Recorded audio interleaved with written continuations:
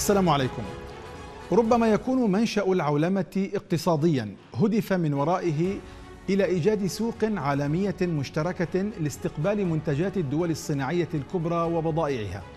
لكن الأمر لم يعد مقصورا على البعد الاقتصادي فالعولمة التي تعتمد آليات معقدة بعد ثورة المعلومات والاتصالات ونمو رأس المال العالمي واتساع نشاط الشركات متعدية الجنسيات أخذت العولمة بعد ذلك كله تذيب الفوارق الطبيعية بين الأمم والشعوب لصالح أنموذج الحياة الغربية وبمعنى أدق الأمريكية. ونتيجة لهذه الهالة السياسية والاقتصادية والفكرية الكبيرة التي تولدها عجلة الإنتاج الغربي ثارت جملة من الأسئلة المتصلة بطبيعة وقوة هذا التأثير ومآلاته. في حلقة اليوم من برنامج حديث العرب نتوقف مع ظاهرة العولمة لنبحث في مفهومها وجوهرها وكذلك في درجة تأثيرها على شريحة على شريحة الشباب العربي. ونقول الشباب لأنه الفئة الأكبر عددا والأكثر تأثيرا في المجتمعات العربية على أن ينتهي بنا الحديث إلى تقرير إذا ما كانت العولمة صارت قدرا مقدورا لا مفر منه وعلى الشباب العربي أن يؤقلم نفسه معه. وإذا ما كان الأمر كذلك فكيف سيكون هذا التأقلم؟ نتابع تفاصيل هذا الحديث بعد متابعة تقرير الزميل محمد وهبة كغيرها من المجتمعات حول العالم وجدت المجتمعات العربية نفسها أمام مسار إجباري نحو الانخراط فيما اصطلح على تسميته عصر العولمة مدفوعة في ذلك بما يحياه العالم من ثورة تكنولوجية ومعلوماتية حولت العالم فعليا إلى قرية كونية صغيرة. وعلى الرغم من أن فكرة إيجاد قوة تدير العالم كانت من إبداع المنتصرين في الحرب العالمية الثانية وكان الدافع من ورائها عسكريا في المقام الأول إلا أن مصطلح العولمة اتسع ليشمل السياسة والاقتصاد والثقافة بصورة تضمن سيطرة النموذج الحضاري الغربي على مجمل المشهد العالمي. أما عن المجتمعات العربية فقد دخلت عصر العولمة من دون استعدادات كافية تحفظ لها نوعا من التميز عن غيرها، الأمر الذي نجم عنه طمس لهوية قطاعات من الشباب العربي إذ أزيلت الحواجز الجغرافية والثقافية والقانونية أمام البضائع والثقافة الوافدتين. فأثمر ذلك نوعا من العادات الاستهلاكية والثقافة التشاركية التي تجمع الناس على اختلاف بلدانهم ومعتقداتهم، بل بلغ الأمر من الخطورة أن يدعو البعض إلى صياغة دين جديد في المنطقة العربية، بهدف تحقيق المصالح التي تعرقل الهوية الدينية تحقيقها على حساب مصالح الشعوب العربية ومقدساتها وحقوقها الثابتة. غير أن العولمة بالطبع لم تحمل فقط كل سلبي. إذ أن زوال الحواجز والتشاركية الدولية في الثقافة والاقتصاد أوجدت نوعا من السلام العالمي القائم على المصالح المشتركة بين مختلف الدول والمجتمعات، ما يفرض على العرب وفي القلب منهم الشباب أن يتفاعلوا مع معطيات العولمة مع الحفاظ على هويتهم العربية والإسلامية وتمايزهم الحضاري عن غيرهم من المجتمعات. للتعليق على هذا الموضوع يسعدنا الترحيب بضيوف الحلقة من عبر سكايب من الدار البيضاء الأستاذ أحمد القاري المدون والكاتب المغربي وعبر الهاتف من تونس العاصمة الدكتور أنور جمعاوي الباحث في مركز حوار الحضارات والأديان المقارنة بتونس. أهلا بضيفينا الكريمين. نبدأ من الدار البيضاء. أستاذ أحمد عن يومنا هذا بأي مفهوم يمكن أن تقدم العولمة وتحديدا يعني أقصد من ناحية بني من ناحية بنيتها. أعتقد أن العولمه هو أمر واقع. الدرجة الأولى هي أمر واقع فرض نفسه بسبب وجود فتوحات كبيرة حدثت في العقود الأخيرة في مجال انتقال المعلومات والاتصالات وسائل النقل والإنتاج التجاري ورفع الحواجز أمام التجارة العالمية. كل هذا فتح الباب لتنقل السلع والأفكار وعبورها للحدود بطريقة أسهل من السابق وأسرع من السابق وهو ما أوجد مصطلح العولمة الذي انتشر استخدامه في العقود الثلاثة الأخيرة. وأوصلنا إلى هذه المرحلة التي نوجد فيها الآن. هذا البرنامج نفسه هو نموذج لما وصل اليه العالم من بساطة الاتصال بساطة تحرك الأفكار انهيار الحدود انهيار حواجز الحدود. هذا معطى الآن معطى العولمة هو معطى واقعي لابد من التعامل معه. قبل قبل أن نستبق الحديث بأنه أمر واقع ولا بد وربما هذا نبحثه في الحلقة الأخيرة آه، أستاذ أحمد. ولكن من ناحية آه، من ناحية بنيتها ولا وليس وظيفتها.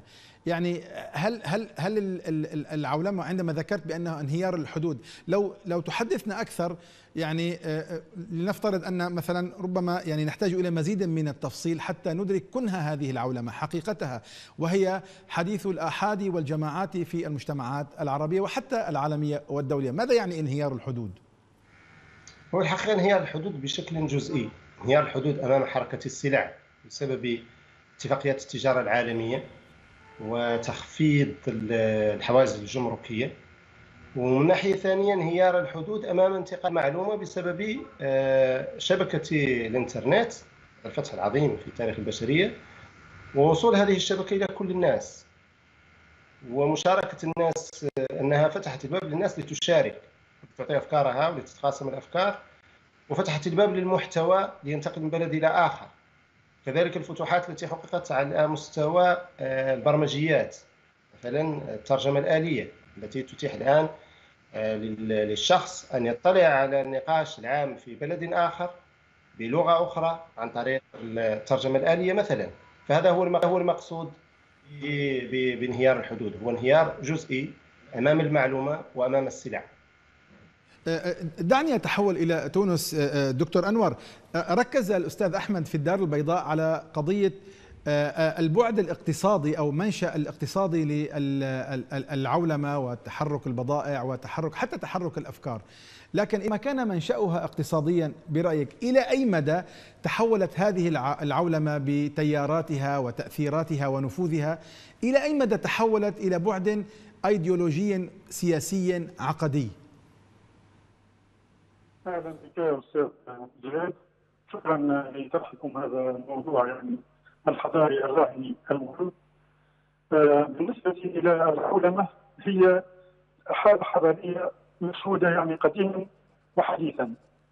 ما تمتاز به العولمه من جهة أنها تتجاوز الحدود وتسعى إلى بلوره قومي تقوم على أساس آه، اختصار المسافات وهدم الحواجز هذا التصور إلى جانب كونه يحمل ابعادا اقتصادية يحمل خلفية أيديولوجية من جهة أننا أصبحنا نتحدث بعد الحرب العالمية الثانية وبعد نهاية الحرب الباردة عن نموذج حضاري جديد هو النموذج الليبرالي الرأسمالي الذي يحمل خلفية أيديولوجية معينة. تقدم نموذجا سلوكيا واخلاقويا وحضاريا للناس. وهذا النموذج يحاول أن يبرز انتصار العقل الرأسمالي على الاشتراكية في المستوى الاقتصادي وأن يقدم الليبرالية باعتبارها بديلا للأنظمة الشمولية أو للأنظمة الأحادية أو الشيوعية في إدارة الشأن السياسي. ف بعض الذين ينظرون للعولمة ينظرون لها باعتبارها فكرة الرجل الأبيض باعتبارها فكرة الإنسان الغربي الذي يحاول أن يقدم نموذجا حضاريا ويفرضه على العالم. ومعلوم أن هذا التوجه هو توجه ينتمي بامتياز إلى ما يسميه سمير امين بالتأسيس لعصر المركز والهامش عصر المركز والأطراف. فالإنسان الأوروبي خصوصا والغربي عموما يعتبر نفسه يمتلك الحقيقة ويعتبر نفسه قد بلغ درجة معتبرة من التحضر وأنه قادر على تصدير نموذجه الحضاري على الآخر ولما لا فرضه على المجتمعات المجاورة. طيب نتحدث يعني أبقى معك دكتور أنور فيما يتعلق بآليات عمل العولمة من حيث هي منظومة دولية تقوم على تنميط الحياة وإزالة الفوارق والتباينات الطبيعية طبعا بين بين المجتمعات والأمم والحضارات والشعوب. هذه العولمة أو النظام الدولي أو الكوكبية بحسب الترجمات ما الآليات التي تعمل بها تحديدا في البعد المجتمعي؟ يعني كيف تعمل هذه العولمة تأثيرا في بنية المجتمعات الأخرى؟ التعامل مع العولمة وكيفية اشتغالها يمكن أن نميز بين مستويين أساسيين المستوى الوظيفي للعولمة globalization والمستوى البنيوي للعولمة. فمن الناحية الوظيفية تشتغل العولمة خاصة على استغلال أو الاستثمار في ثورة الاتصالات الحديثة وفي التطور التقني المشهود في العالم وتعتمد أساسا على ثورة المعلومات وعلى الشركات العابرة للقوميات والجنسيات وعلى فكرة السوق الممتد عبر أنحاء العالم. هذا السوق الذي لا يعترف بالحواجز القومية أو الدينية أو العرقية أو الجغرافية. من الناحية الوظيفية تستند فكرة العولمة إلى استثمار التقانة في الترويج لنموذج حضاري معين. هو بالأساس النموذج الغربي في تجلياته الليبرالية والرأسمالية. لكن هذه هذا الاشتغال في هذا هذا الاشتغال بالنسبة إلى العولمة يستند إلى بنية، البنية التي آه، تتأسس عليها العولمة هي ما يسميه روجي جارودي أن آه، يذهب يعني روجي جارودي إلى أن السوق هو ديانة. الفرنسي المسلم رجاء جارودي. نعم نعم نعم, نعم رجاء جارودي يقول بأن السوق هو ديانة العولمة. ف آه، الأولمة هي إعادة إنتاج لعلاقات الهيمنة. يعني انتقلنا من مرحلة الاستعمار المباشر التي كانت سيارة وموجودة خلال الحرب العالمية الأولى والحرب العالمية الثانية وبعد ثورة التصنيع التي شهدتها أوروبا. كانت أوروبا في حاجة إلى أن تروج لمنتجاتها وإلى أن تجد لها اسواقا جديدة، لذلك تم شن حروب بحثا عن اسواق جديدة. الآن بعد الحرب العالمية الثانية أصبح هناك توجه لتكريس الهيمنة هيمنة الإنسان الغربي أو هيمنة النموذج الحضاري الغربي في مستوى سياسي وفي مستوى اقتصادي. ومحاوله لبيان أن التاريخ الراهن أو التاريخ الحداثي هو تاريخ غربي بامتياز ولا يمكن للإنسان أن ينتمي إلى الحضارة أو إلى الحداثة من منظور غربي إلا إذا تكيف مع الرأسمالية وإذا استوعب الفكرة الليبرالية بتجلياتها المختلفة، يعني هنا تصبح الرأسمالية تشتغل على التكيف الهيكلي وعلى التدقيق المالي وعلى محاولة دخول الأسواق واستتباعها بشكل يجعلها خادمة للرأسمالية اقتصادا وللليبرالية ايديولوجيا. طيب،, طيب في في سياقها الزماني وهنا أسأل الأستاذ أحمد في الدار البيضاء في سياقها الزماني هل يمكن القول إن آه، العولمة هي آه، آه، أستاذ أحمد هل يمكن القول إن العولمة هي مرحلة تاريخية تطور طبيعي أو مرحلة حتمية بمعنى أنها تطور تاريخي طبيعي في المجتمعات البشرية ناتج عن تراكم معارفها الثقافية والفكرية والسياسية أم أن العولمة هي أحد مظاهر هيمنة القوي والمنتصر في نهاية الأمر؟ أه، أعتقد أنها الأمران معا. من ناحية هناك تيسر التواصل وحركة المعلومات وحركة السلع بين أه، بين البلدان أه، أوصلنا إلى إلى مرحلة عولمة فعلية خاصة بعد تجربة القطيعة التي كانت بين أجزاء كبيرة من العالم بسبب الحرب الباردة. ومن ناحية أخرى كما ذكر الدكتور أنور المنتصر في الحرب العالمية الثانية الإنسان الأبيض آه، أوروبا والغرب عموما أوروبا وأمريكا لديهم غرور المنتصر لديهم رغبة في أن آه، يفرضوا نموذجهم على أنه النموذج المثالي على أنه أفضل ما وصل إليه البشر.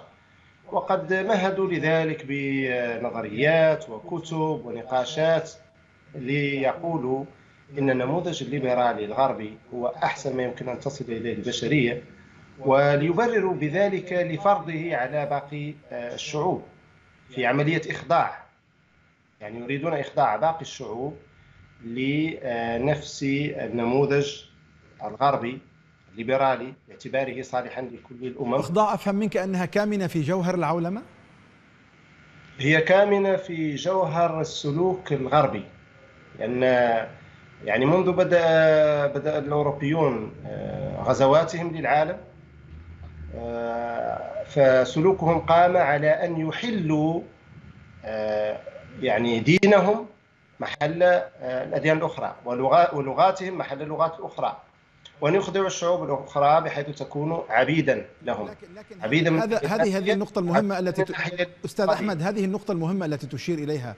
هل ثمة ارتباط عضوي بينها وبين العولمة؟ بمعنى هل هذه هذه هي العولمة أو أحد مظاهرها؟ يعني تعميم النمط الغربي المقصود به إخضاع الشعوب غير الغربية لنمط الحياة والتفكير الغربي. هل هذا ما تريد أن تقوله؟ أقصد أن هذا السلوك الغربي القائم على الهيمنة هو سابق للعولمة. فلما جاءت العولمة تم استغلالها والاستفادة منها لاستمرار نفس الجهد جهد الهيمنة والسيطرة والاستعمار بشكل جديد. الاستعمار عن طريق آلة دعائية آه، رهيبة. الاستعمار عن طريق الوصول إلى أذهان الناس والسيطرة عليها. الاستعمار عن طريق تسويق آه، نمط حياة معين.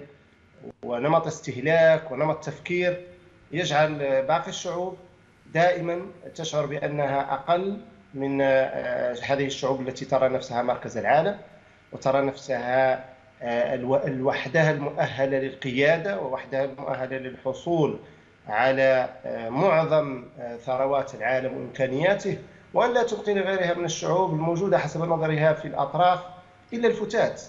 ف كما استفاد الغرب من كل الوسائل السابقة من كل التطورات التي حدثت في آه، النقل البحري في آه، اختراع الكهرباء في اختراع وسائل آه، في أسلحة ودمار.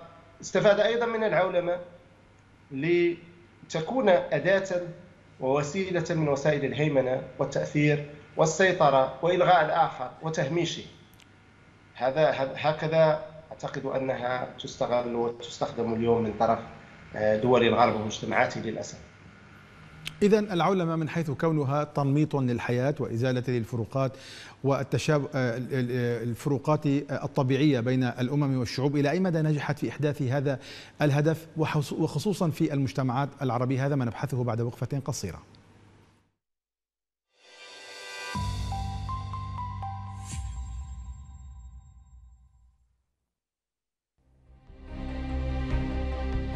مشاهدينا الكرام ننوه لحضراتكم أن تردد قناة الرافدين الفضائية هو عشرة آلاف وسبعمائة وسبعة وعشرون الاستقطاب أفقي على مدار القمر نايل سات.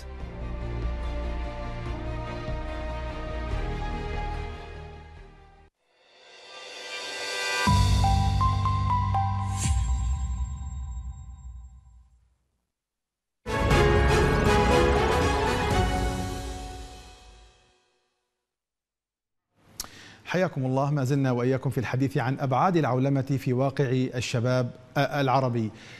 ينضم إلينا في هذه اللحظات الأستاذ محمد الفضل الباحث في قضايا الفكر والثقافة من الخرطوم عبر تطبيق سكايب أهلا وسهلا بك أستاذ محمد ربما يكون يعني المصطلح الذي سكه المنظر الإعلامي الكندي مارشال ماكلوهان عن موضوع أن العالم صار قرية كونية أو قرية آه، آه، كوكبية أو قرية صغيرة أيا تكن الترجمة آه، الذي يهمنا هو المعنى. من أدق التعابير عن العولمة سؤالي هو أي تأثير لهذه الإعلام الهالة الإعلامية الكبيرة التي أنتجتها العولمة وعجلة الإنتاج الغربي تحديدا سواء على المستوى الإقتصادي أو الفكري هذه الهالة الإعلامية أي تأثير أحدثته في بنية المجتمعات العربية؟ وتحديدا أتحدث عن الشباب الفئة الأهم. طيب السلام عليكم ورحمة الله وبركاته. وعليكم السلام ورحمة الله. نعود قليلا إلى الوراء مع بداية مع بداية الحفر في المصطلح في مصطلح العولمة قليلا ثم ناتي إن شاء الله إلى التأثير يعني بصورة سريعة. لعل المتحدثين من قبل جزاهم الله خيرا أغلبهم متفقون على تعريف للعولمة وأن العولمة هي بنت الاستعمار. وهي منتج مربوط بالرأسمالية ومربوط بالدولة الحديثة وهو أضلاع الرأسمالية والدولة الحديثة والعالم ولكن يعني أول دراسة جاده للموضوع في نظري كانت عند كارل ماركس وهنالك يعني طورين من أطوار كارل ماركس. كارل ماركس قبل أن يذهب إلى بريطانيا وكارل ماركس بعد أن ذهب إلى بريطانيا. هنالك أوراق موجودة قدمها المفكر الألماني المعروف هربرت طيب أنا أنا أنا أعتذر منك أستاذ محمد يعني الصوت لا يصلنا بشكل واضح ولا يحقق الغرض منه لعله مشكلة في المصدر. سنعود إليك بعد بعد قليل لو سمحت يعني وأستأذن منك إلى العودة إلى تونس مرة أخرى اسال الدكتور أنور في الحديث عن نفوذ الثقافة الغالبة التي تسمى اليوم العولمة أو الكوكبة. دكتور أنور في تونس هل تتساوى المجتمعات البشرية في الاستسلام أمام التأثيرات الفكرية والمجتمعية للقوي أو للغالب أو للمنتصر أو المتفوق أم أن هناك عوامل محددة هي التي تضبط درجة تأثر كل أمة أو مجتمع بهذه العولمة؟ طبيعي جدا لا يمكن أن نقيس مستوى التأثر حتى داخل المجتمع الواحد. مستويات التأثر بالعولمة تتباين فما بالك بين مجتمعات مختلفة. ذلك أن مستوى الإدراك مستوى إدراك المتلقي للعولمة يختلف من فرد إلى آخر ومن مجموعة إلى أخرى ومن مجتمع إلى سواه.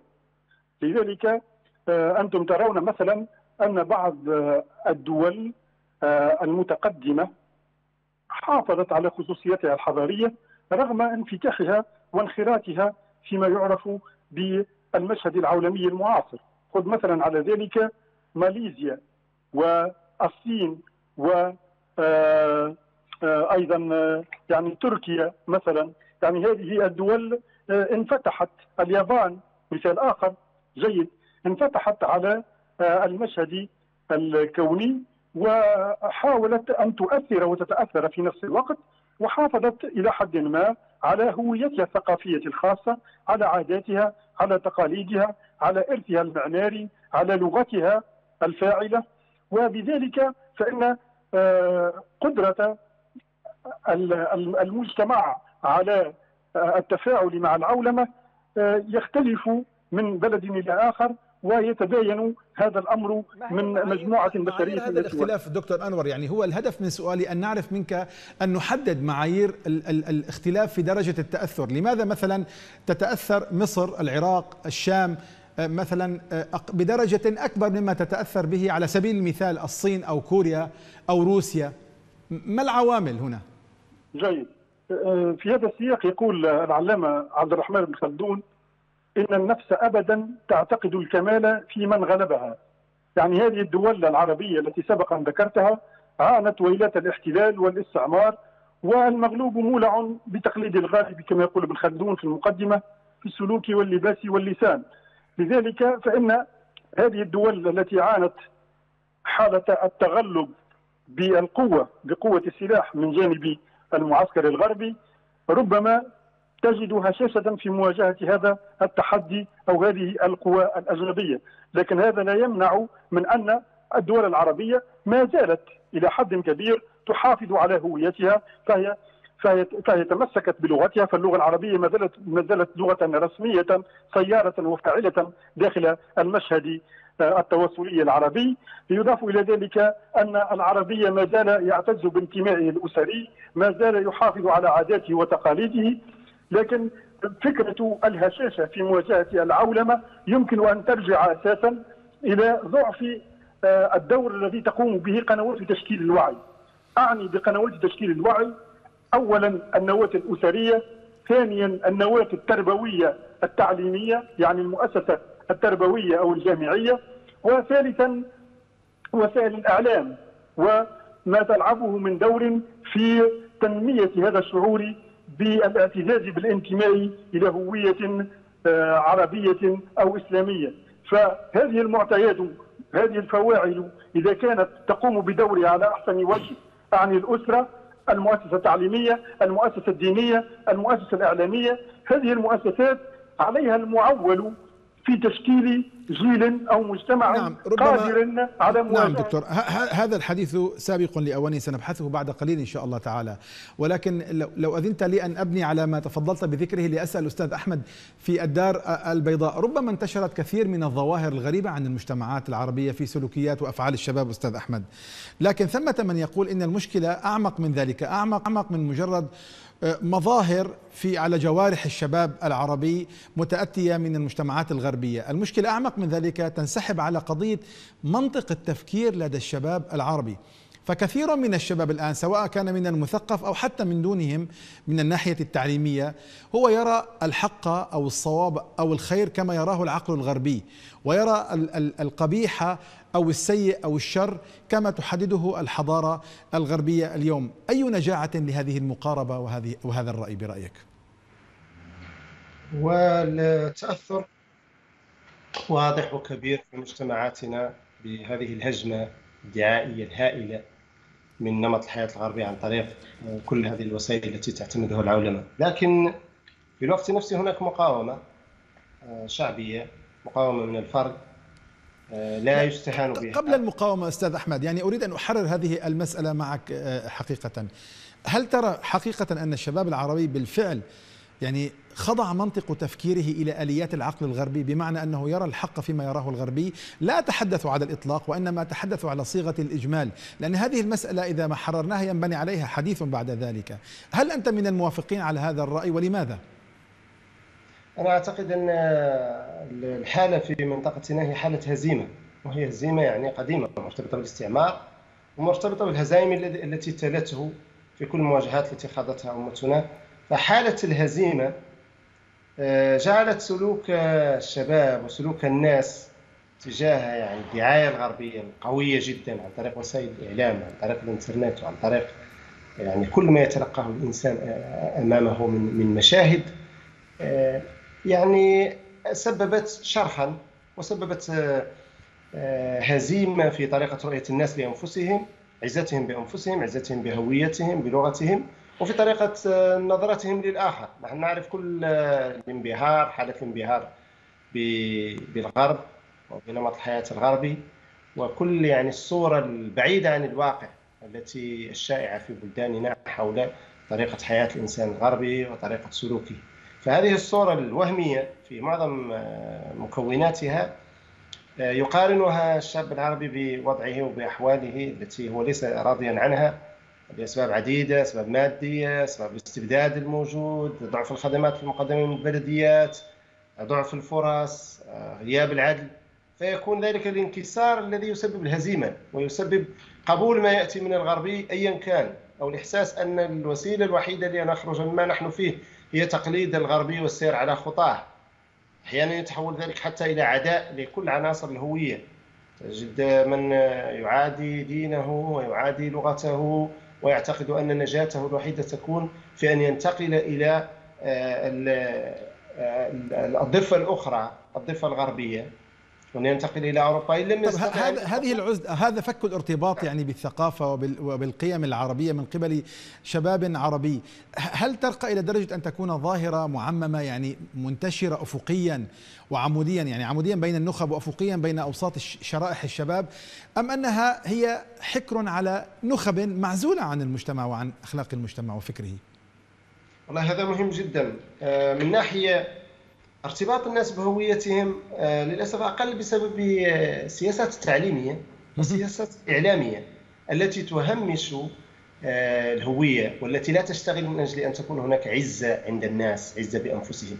هي تساهم في مزيد من تحطيم آه، شعور الناس بالانتماء وشعورهم بالعزة. هذا الشعور الذي تحرص معظم دول العالم الحرة والمستقلة على أن يكون عنصرا اساسيا في الخطاب الإعلامي والخطاب السياسي وفي التعليم.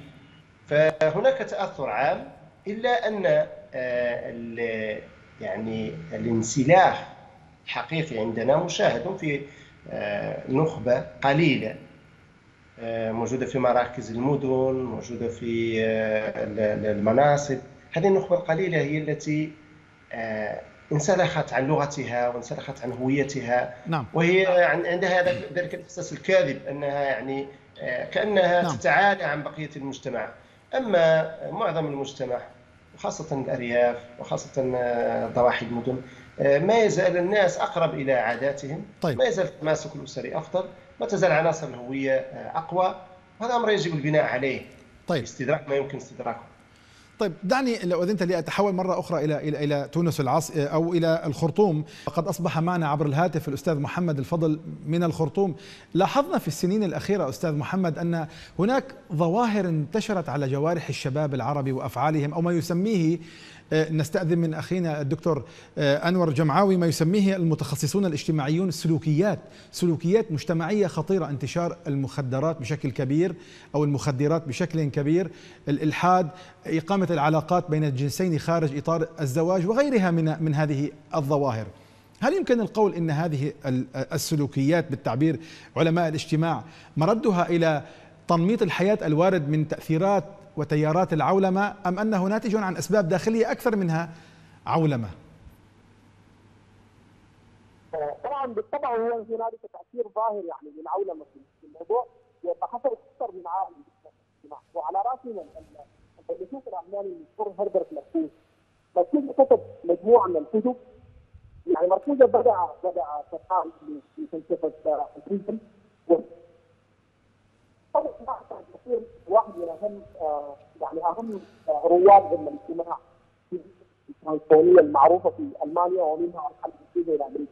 مثلا مركوزه لما تكلم عن الانسان في الجهد الواحد يقصد الاضطراب التي تكلمت عنها قبل قليل طيب أستاذ محمد آه، يعني أعتذر منك عن المقاطعة وأعتذر أكثر أيضا للمشاهدين الكرام يبدو أن هناك خللا في الخرطوم وهذا ربما يعني ما أدري إذا كان مرتبطا بالعولمة من عدمه. فحتى الآن نحن نواجه مشاكل في التواصل مع الأساتذة في الخرطوم.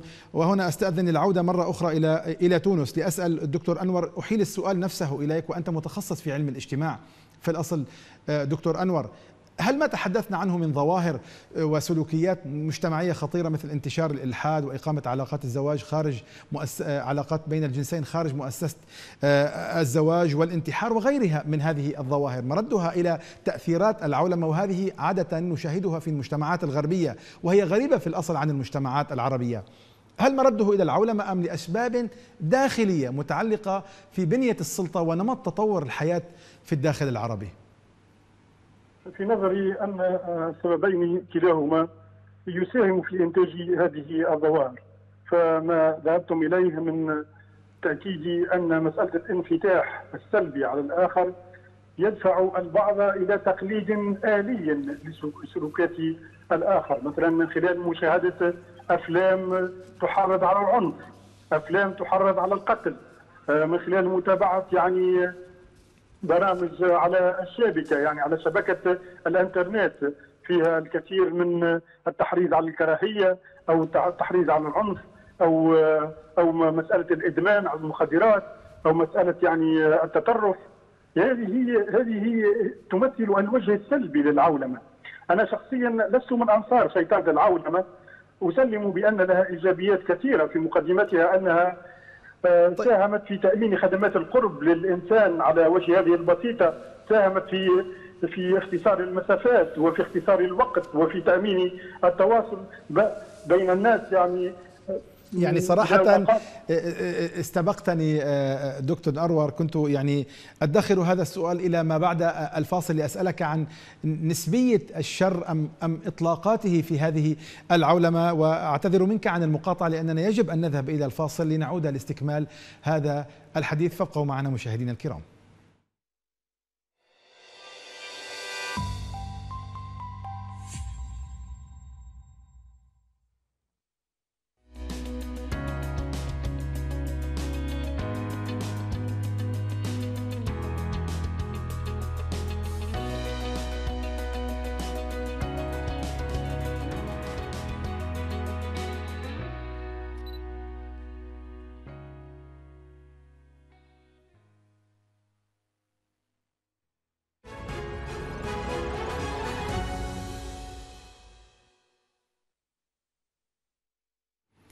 أهلا بكم. أبدأ من حيث انتهيت مع تونس مع الدكتور آه، أنور الجمعاوي معذرة من الأستاذ أحمد. سنذهب إليه بشكل بشيء من التفصيل.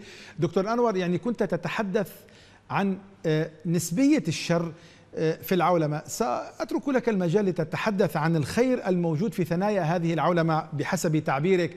لكن كيف يمكن أن يوجد الخير لدى أمة وهنا أقتبس من الأستاذ أحمد لدى أمة حملت عقلية الرجل الأبيض المنتصر الذي يريد أن يعمم ثقافته على الأمم والشعوب. أين تكمن نسبية هذا الخير؟ في ضوء ما قاله فرانسيس فوكوياما الفيلسوف الأمريكي صاحب نظرية نهاية التاريخ الذي يرى أنه لا تطور ولا حياة بعد ما وصلت إليه آه، حضارة الرجل الأبيض. تفضل أستاذ دكتور أنور. فوكوياما مردود عليها. من جهة أن المجتمع البشري قائم على التنوع وعلى الاختلاف في مستوى ثقافاته وحضاراته ومساهماته في صياغة هذا المشهد الحضاري الكوني. بالنسبة إلى العولمة فيها وجه سلبي سبق أن نبهتم إليه وفيها آه، جوانب إيجابية لا يمكن أن ننكرها يعني خاصة ما تعلق آه، بتجاوز فكرة الجغرافيا القاهرة يعني اختصار المسافات يعني تقريب وجهات النظر تأمين التلاقح الثقافي والفكري بين الأمم والأفراد وبين الجماعات والشعوب. المساهمة أيضا في الترويج لنموذج التحديث السياسي الذي نحتاج إليه بسياق عربي، يعني ما نعانيه من أزمات في السياق العربي وما نعانيه من يأس في صفوف الشباب وإحساس بالإحباط يعود في جانب ما إلى أنظمة شمولية.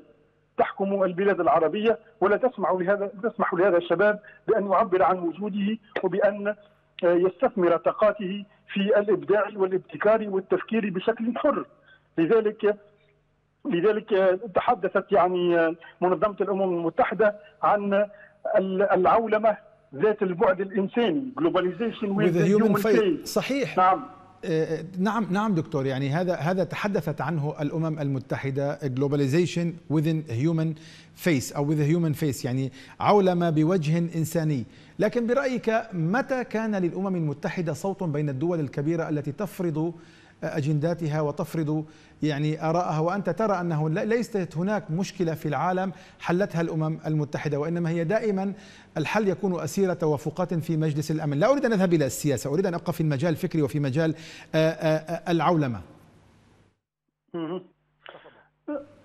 نعم بالنسبة بالنسبة إلينا نحن كعرب نحن باعتبارنا ننتمي إلى هذا العالم من من من واجبنا في نظري بقطع النظر يعني عن مدى محدودية دور الأمم المتحدة أو غيرها من المنظمات في نظري من واجبنا أن ننخرط باعتبارنا كائنات فاعلة في المشهد العولمي لا باعتبارنا كائنات سالبة أو كائنات استهلاكية. في نظري من المهم أن نحافظ على خصوصيتنا الحضارية على هويتنا الثقافية وأن نقدم الإضافة إلى العالم. أنت ترى اليوم بأن الكوفية الفلسطينية معروفة في كل أنحاء العالم. أنت ترى بأن يعني المنسوجات العربية الدمشقية أو أو العراقية معروفة في مختلف أنحاء العالم أن الخط العربي فرض نفسه باعتباره شكلا فنيا جماليا تعبيريا عربيا بامتياز. يعني بإمكان العربي أن يقدم الإضافة إلى هذا العالم من خلال ما يقدمه من إنتاجات ما يقدمه من ابتكارات. يعني البارحة يعني شاهدته شاهدته على التلفزيون يعني شاب تونسي تمكن من اختراع آلة تحول قطرات الندى إلى ماء عذب. يمكن أن نشربه ويمكن أن نستفيد به. قد يقول لك دكتور أنور قد يقول لك أن تحويل الماء البحر إلى ماء عذب. يعني هذا ربما ينسجم مع عذوب التفكير آه، العرب في في في قضايا ربما يعني الغرب تفوق وتجاوزها كثيرا. يعني ماذا يمكن أن ينفع الخيط الدمشقي آه، أو الماء العذب في تونس مع التفوق الاقتصادي والعسكري والسياسي والهيمنة المطلقة للغربيين. سأعود إليك لأفسح لك المجال للتحدث بمزيد عن هذه القضية لكن لو أذنت لي أن أعود مرة أخرى إلى الدار البيضاء. أستاذ أحمد هل برأيك الآن العولمة صارت قدرا نافذا لا مرد له وعلى العرب أن يتأقلموا معه؟ بل هي فرصة للمقاومة وهذا بدأ بالفعل. مقاومة أم تأقلم؟ نعم مقاومة وتأثير. نحن الآن عندنا فرصة للقضاء على يعني حالة الانبهار الموجودة بالنموذج الغربي من خلال فضح مشاكل هذا النموذج وهذا يجري اليوم على وسائل التواصل طب يعني أنا أنا أنا مهتم بأن أعرف منك أستاذ أحمد يعني وسائل هذه المقاومة أو تصورك للمقاومة الشباب العربي لتأثيرات العولمة في وقت تخشى فيه فرنسا القوية النووية المصدرة للمنتجات على ثقافتها وهويتها من تأثيرات الأمركة أو العولمة. نعم هذه بلدان العالم تعمل من خلال آه، دساتيرها ومن خلال برلماناتها ومن خلال حكوماتها المركزية والمحلية على حماية هويتها الوطنية. هذا ليس موجودا في فرنسا وحدها وإنما في سائر بلدان العالم. هناك حرص شديد على حماية اللغة، على حماية الدين، على حماية عناصر الهوية الوطنية، هذا شيء يجب أن نتعلم منه في منطقتنا وأن نضغط نضغط نحن أيضا على حكوماتنا وبرلماناتنا وعلى نخبنا لحماية عناصر هويتنا خاصة أننا يعني الحمد لله نتوفر آه، على دين آه، على الدين الحق وعلى لغة من أوسع لغات العالم انتشارا وتاثيرا. فنحتاج إلى فعل اليوم نحتاج إلى ان ننشر العزة. يعني ان نقاوم حالة الانكسار والهزيمة بالحقائق. يجب أن نفتح النموذج الغربي. هذا يجري حاليا. هناك جهود طيبه جدا للمدونين وصناع المحتوى في هذا الاتجاه. و إحساس العزة وإحساس الثقة هو الذي يمكن من التأثير. الآن يجب أن تكون العولمة ووسائل التواصل فرصة لنا للتأثير على لكن, لكن أستاذ أحمد معذرة يعني دعني أتداخل معك. قد يسأل سائل الآن من المشاهدين الكرام الذين يتابعون هذا الحوار هل يمكن أن مواجهة الشيء المادي العولمة التي تهيمن على العالم بأدوات مادية اقتصادية مالية عسكرية هل يمكن مقاومتها بمسائل معنوية وشعورية نابعة من الإحساس فقط؟ هو هو الجانب المعنوي هو الأساس وتبنى عليه الأمور الأخرى. بلداننا تتحسن في مجال الصناعة نحن نرى النموذج التركي مثلا نرى النموذج في في شمال إفريقيا حيث أن بلدان شمال إفريقيا حاليا تتجه إلى أن تصدر منتجات كانت تستوردها في السابق، المغرب الآن يصدر سيارات. هناك تغيير يحدث. علينا أن نشجع هذا التغيير وأن ندفع به إلى مزيد من التسارع. الدنيا دول اليوم التصنيع في الغرب يتراجع لفائدة آه، الشرق الأقصى ولفائدة المنطقة آه، إفريقيا ولفائدة المكسيك وأمريكا الجنوبية. يجب أن ندفع بمنطقتنا إلى مزيد من الإنتاجية إلى مزيد من التفوق طيب. مزيد من الاختراعات وكل هذا يبنى على أساس معنوي. طيب سأعود إليك يعني آه، معذرة أستاذ أحمد سأعود إليك لنواصل هذا الحديث. لكن علي أن أختم اولا مع الدكتور أنور في تونس. كيف يمكن لشباب عربي منكشف سياسيا حضاريا ثقافيا. يعيش في بيئة جغرافية مكشوفة تماما للعالم. ليس لديها وسائل حماية. كيف يمكن له أن يدرك الخير النسبي في العولمة الذي ذكرته قبل قليل من غير أن يذوب ويفقد لونه وشكله ومقوماته؟ برأيك. لو سمحت هل بالإمكان إعادة السؤال؟ فيه صدى يتكرر. هناك صدى للصوت. طيب آه، دكتور أنور يعني أنا آه، تحدثت قبل قليل يعني أنت عن الخير النسبي الموجود في العولمة وسؤالي هو آه، وأرجو أن تكون تسمعني بشكل واضح الآن. كيف يمكن لشباب عربي يعيش في بيئة جغرافية وسياسية منكشفة تماما حضاريا وثقافيا وسياسيا للعولمة للغرب للقوي؟ كيف يمكن له أن يدرك الخير النسبي الذي ذكرته قبل قليل الكامن في العولمة من غير أن يذوب وتذوب ويذوب لونه وشخصيته ومقوماته؟ نعم. آه، هذا يقتضي في مقام أول حتمية تحسين الذات. تحسين الذات يعني ثقافيا فكريا معنويا. يعني ما أشرتم إليه سابقا أن الإنسان ليس آه، جانبا ماديا وجانبا اقتصاديا وجانبا عسكريا. الاجتماع البشري لا يتعلق بهذه الأمور فحسب، الاجتماع البشري يبنى أيضا من خلال تشكيل الأذهان، تشكيل الوعي الجمعي، وفي نظري أننا في حاجة أكيدة في السياق العربي إلى أن نفعل دور المؤسسات التي تساهم في تشكيل وعي الناشئة ووعي الأجيال الصاعده وتتوجه مباشرة إلى الشباب، نحن في حاجة إلى أن نكثف المحتوى الثقافي العربي الموجه على شبكة الانترنت، نحن في في حاجة إلى أن يكون للدولة دور اجتماعي، يجب أن تطلع الدولة بدورها في بناء مؤسسات تربوية ثقافية تعليمية دينية تساهم في تأصيل انتماء هذا الشباب إلى تربة ثقافية عربية إسلامية معتدلة ومنفتحة. وفي نفس الوقت من المهم بمكان أن يمسك الشباب بناصية نعم. اللغات وأن يمسك يمسك بناصية العلم وأن تكون لديه روح المبادرة حتى يثبت وجوده ويعبر عن كينونته نعم. معلوم أن المسؤولية هنا موكولة على أصحاب القرار لكنها موكولة إلى الشباب أيضا الذي يجب يجب أن يثق في نفسه وأن جميل. يتأهب لكي يثبت وجوده ويقدم الإضافة للمجتمع العربي والمجتمع الكوني عامة طيب جملة من الأفكار آه، آه، طرحها الدكتور آه، أنور. وكذلك تحدثت عن فعل المقاومة من جانب الشباب العربي أستاذ أحمد. هل الاستجابة لمتطلبات العولمة أو مقاومتها وتطبيق الأفكار التي طرحتها وتحدث عنها الدكتور أنور في تونس يترتب أو يتوقف على تغيير في بنية السلطة السياسية في المجتمعات العربية بالضرورة أم يمكن إحداث هذه المقاومة وهذه الأفكار تطبيقها من خلال مؤسسات أهلية شبابية آه، مستقلة؟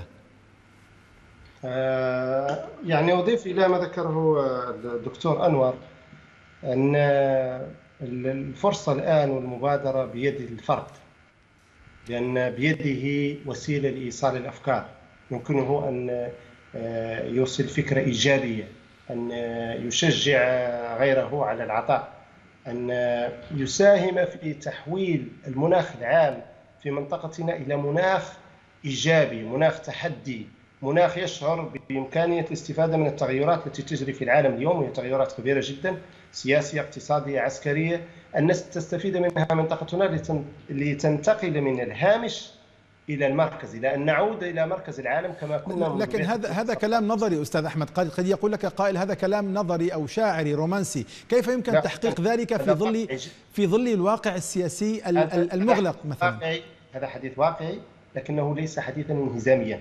نحن عانينا خلال آه، عقود طويلة من حالة من الانهزامية. يجب أن ننفيها تماما. التأثير اليوم ممكن؟ بيد الفرد وسائل للتأثير. بيد الأفراد إذا نسقوا الجهود بينهم وخصوصا جهود العابره للقطرية. يعني على على مستوى المنطقة المتحدثة بالعربية يجب أن يكون هناك تنسيق تنسيق لكي نقوم بهجمة مضادة على نعم. مستوى العالم. نثبت فيها أنفسنا. الآن الحمد لله هناك أمور كثيرة مبشرة. لاحظت حملات لنصرة آه، المسلمين في الهند. حملة قوية جدا. قبلها الحملة ضد المنتجات الفرنسية بسبب آه، الإساءات إلى النبي صلى الله عليه وسلم. كل الحملات التي تجري في في العالم العربي وعلى مستوى القطر الواحد وكل هذا النقاش العام الثري والقوي جدا يجب على كل فرد أن يساهم فيه. بثقة تامة بالنصر ب يعني نفس إيجابي أن نترك عنا الخطاب الانهزامي تماما ليس هذا وقته وأن ينسق الناس بين بين يعني الناس التي تعمل للخير تنسق على مستوى العالم الإسلامي وعلى مستوى العالم لكي يكون هناك غد أفضل لأمتنا لكي يكون هناك حكم أفضل نعم. لكي تكون عندنا برلمانات أفضل لكي يكون عندنا إنتاج أفضل. أشكرك. نعيد شيئا من العدالة وشيئا من الأمل للعالم. هذه مهمة آه، شعوبنا اليوم وهذه آه، مهمة ممكنة بإذن الله وضرورية. فليسأل كل واحد نفسه بكم سيساهم وبكم يساهم. أشكرك. شكرا جزيلا أستاذ أحمد. ختاما مشاهدي الكرام أشكر ضيوفي الكرام في الدار البيضاء أحمد القاري المدون والكاتب المغربي ومن تونس العاصمة دكتور أنور جمعاوي الباحث في مركز حوار الحضارات والأديان المقارنة بتونس. وكانت لدينا مشاركة متعثرة نسبيا مع الأستاذ محمد الفضل الباحث في قضايا الفكر والفلسفة. شاركنا عبر الهاتف من الخرطوم. شكرا لكم على طيب المتابعة في حراسة الله.